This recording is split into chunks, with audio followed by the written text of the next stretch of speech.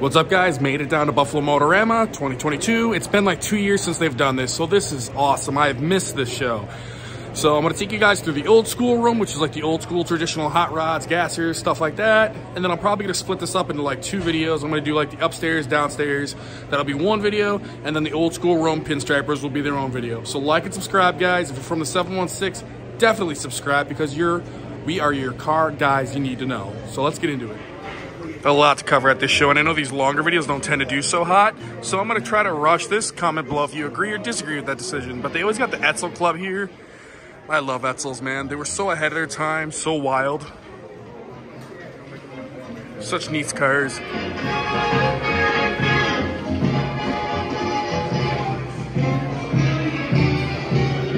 Such wild cars. I love these.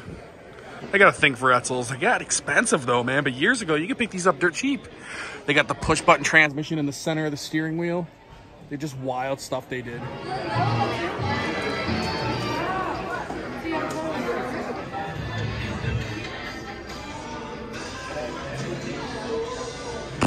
Copycat. This thing's cool though. I'm gonna ask him who did his vinyl graphics because they came out pretty good. Ours were done by Express Vinyl. Oh, look at that. I talked to the owner of the car. He's actually really cool. The dash is all signed over there. Really nice guy. This car is actually maroon, so this whole car's been vinyl wrapped. Oh my God, it's Dale Earnhardt. Got some vintage snowmobiles here. My buddy Steve's car getting some looks here. Sorry about the little stumble right there. I had a few pops. But this car is fast, and he's done a lot of work to it. Me and this man have had a little grudge on the street for years, but now that he added that little gizmo, I'm probably not gonna run him again. But yeah, no. Congrats, Steve. This car's come a long way. Oh, how funny. They put the Jeeps in Woman's World. Jeeps, Woman's World. Makes sense. okay, I kid. I do have a place in my heart for Jeeps, but this one is my favorite in the room. You never see these, and this thing's clean.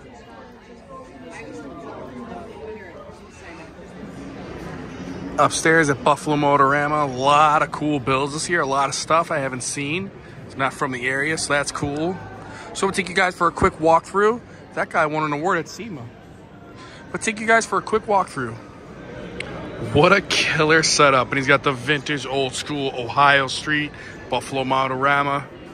He's even got potholes. How realistic.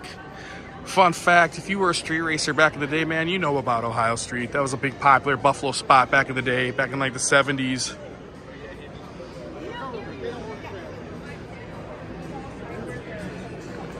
I know we're 716 car guys, but I, the longer I look at this, the setup was sick. The bike is sick. The Springer front end. Look at the seat, all the brass on it, the shifter, the handlebars. Dude, this thing is cool. Oh man, I dig it. A lot of cool stuff at this show, guys. I'm gonna try to just kind of concentrate on the more oddball, more unique, cool stuff. Just because it seems like the longer car show vids on this channel don't do the best. So like and subscribe, guys. We're gonna keep getting into it and check out some of these rides here at 2022 Buffalo Motorama. Ooh. Oh, a little bit of everything in this row. We got some Mustangs, got a Chevelle, got an old Jag, Mustang, got a Ferrari down there. Got an LT1 in this baby. This is an older build, it must be. But it's holding up pretty good. Oh man, I love gassers. This thing's cool. I wonder if he'll take it out to the drag strip, but I'll actually race it. But this thing's sick. Jacked wagon, that's cool, man. Every gasser needs to have a name on it. Oh, he's got a cage in it. He might be racing this thing. This is cool. So we were just talking about gassers. Let's talk about another drag car. Dude, look at these thing. Little Toyota Corolla, got a nice tire on the back of it. Where's yellow well, give it that. I'm glad I got that on camera. Yeah, the General Lee's here. You never see those, the big New Yorker. You don't see a lot of these. I've never seen this thing race on the streets or anything in Buffalo, but this thing's cool. Yo, comment below if this is yours. Maybe I'll set up a race with you, man. Curious what this little thing can do. Like I said, I'm gonna try to stick to the more unique stuff. We got a Chevy LUV over there, but this truck is so sick. I love this truck. I see it around every now and then, but I love this thing. So cool.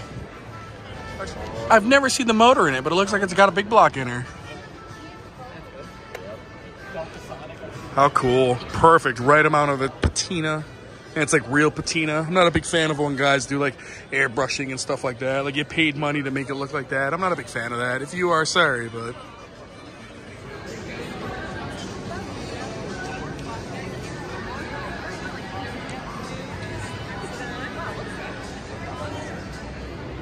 What an old school, like, street racer build. Just steelies. Nothing shiny, nothing pretty. But what matters is right here. I heard he just put like a 434 in it, small block. So this one's gonna be pretty nasty. He's got a cage in it. Last thing, last time I saw this car a few years ago, it didn't have a cage in it. So dude, this guy's stepping it up. This thing's so cool. Four doors don't get the love they deserve, man. This thing's neat. This kid drives the shit out of this car. Nice little four-door. He's owned this thing since he was like 17 years old or something. He's like 32 now. But I love when car guys do these setups. The old popular mechanics, the old suitcases, the dinnerware. How cool, man. That's neat. Old school Thunderbolt.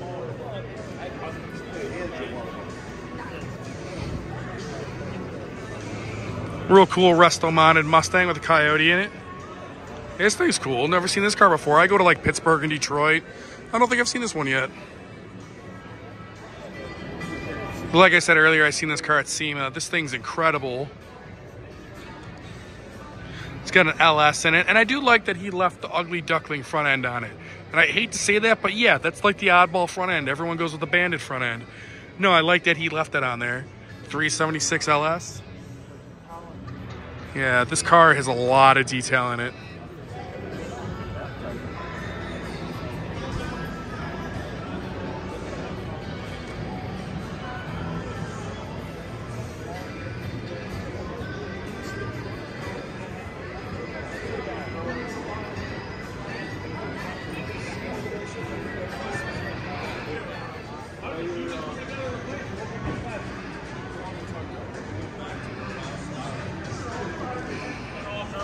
Oh, cool. Two really cool Pro Street builds. Got a Nova, got a Falcon, both got blowers, big tires. What more could you want? Both got cages in them, man. I wonder if they actually play with these things. Both got legit shifters in them. Pretty cool rides, man. Fast Eddie's Nova from Lancaster Speedway Empire. Not the fastest, not the nastiest, but this dude's been racing this car since I've been alive. He's like a Lancaster legend.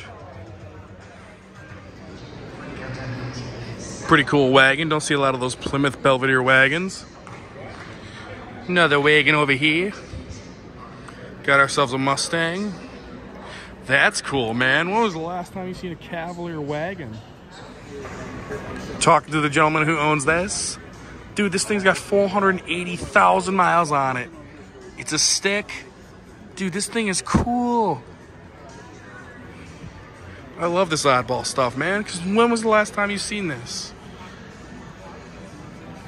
Dude, what a neat car. I'm going to try not to film everything, you know, in case you haven't been down here this weekend. But a lot of cool cars. Definitely worth coming down. The head knocker crew. These guys have been racing since I was a kid. They've always had the coolest rides.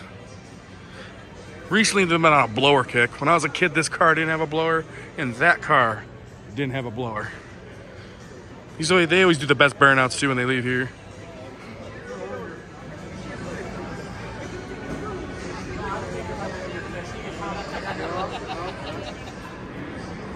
You know, these vinyl wraps are wild.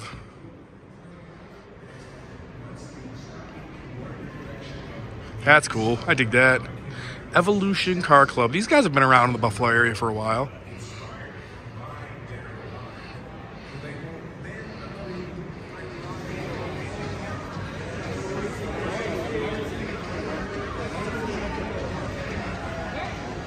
My God, look at the interior.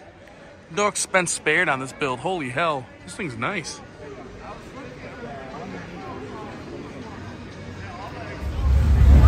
Damn, T-Mobile van sounds good. Oh,